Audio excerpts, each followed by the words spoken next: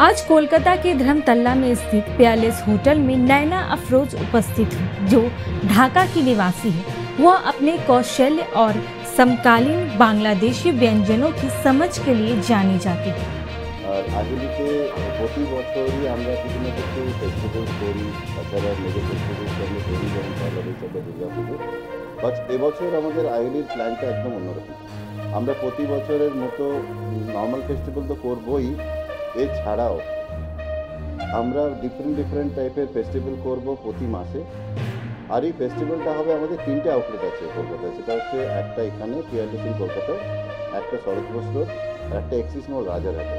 তিনটে জায়গাতেই আমরা যখন ফেস্টিভ্যালগুলো করব, প্রতি মাসে করব নতুন নতুন ফেস্টিভ্যাল আমরা প্রতি মাসেই আমাদের এরকম দিদি নয়না অ্যাপ্রোচের মতো আমরা বাইরে থেকে শেফেদের নিয়ে আসব। যারা ওনারা এক্সপার্ট ইন দ্য ফুড ওনাদের নিয়ে এসে আমরা ফেস্টিভ্যালগুলো করবো বাট এবারে আসি আমরা এখন কী করছি এখন যেটা করছি সেটা হচ্ছে ফ্লেভার্স অফ বাংলাদেশ আপনারা সবাই মিস নয়না আপ্রোচকে চেনেন উনি বাংলাদেশ থেকে এসেছেন এসে এখানে উনি অনেক রকম জেলার খাবার বানাচ্ছে আর সেই জেলার খাবারগুলো এতটাই এতটাই close to the heart of every Bangladeshi কি সেইটা উনি এখানে করতে করার চেষ্টা করেছেন नैना अफरोज आज बांग्लादेश और भारत दोनों में एक प्रसिद्ध और सम्मानित होम सेफ है और फूड कंसल्ट के रूप में भी जानी जाती है नैना द्वारा काफी विस्तृत मेनू तैयार किया गया है आइए आज हम उस विशेष व्यंजनों के बारे में सीधा बात करते हैं नैना अफरोज से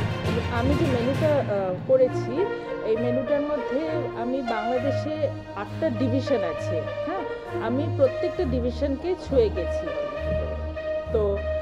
সেই ডিভিশনগুলোর যে মানে ওখানে যারা যারা থাকে, তাদের কিছু পপুলার খাবার যেগুলো তাদের সাধারণভাবে সবসময় তাদের ঘরে হয়ে থাকে সেরকম খাবারও রেখেছি। আবার কিছু মেহমানদারির খাবার বলে যেটা, সেরকম খাবারও রেখেছি। তো যেমন আমি বলতে পারি যে ঢাকা দিয়েই যদি শুরু করি, ঢাকাতে আমি মূলত একটু মেহমানদারি খাবারের দিকেই নজরটা দিয়েছি কারণ আমি ঢাকা থেকে যে খাবারগুলো দিয়েছি সেগুলো অনেকটা পুরান ঢাকার খাবারই বলা যায়। আমি ওখানে মোর্গ মাসাল্লাম বলে একটা রান্না রেখেছি যেটা হচ্ছে অঞ্চলে চুই ঝালটা খুলনা অঞ্চলে খুব প্রিয় এবং পরিচিত একটা খাবার। খুলনার কথা বললে যে কোনো বাংলাদেশি খুলনা বললে চুই ঝালের কথাটা চিন্তা করতে পারবেন।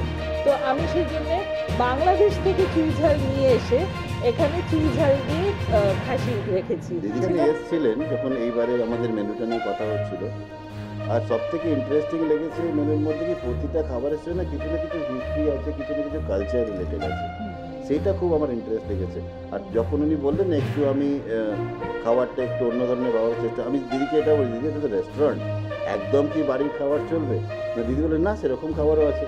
তো সেভাবে উনি আবার প্ল্যান করেছেন। আর আমি এটাও বলেছিলাম কি কিছু বাড়ির খাবারও রাখবেন যেটা লোক চায়।